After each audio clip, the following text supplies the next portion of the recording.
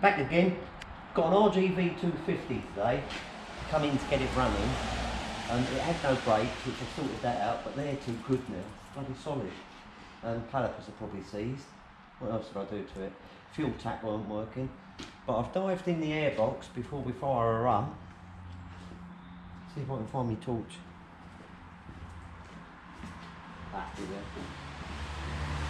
If you look there, no air filter. Where's that gone?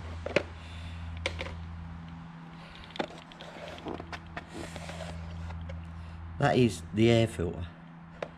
But look, it's blocked all round the inlet. Both of them. So we have to strip that lot out and clean it out. But it's quite amazing when you stand a bike up, the deterioration. So um, I'll have a play with that, see if I can get it running.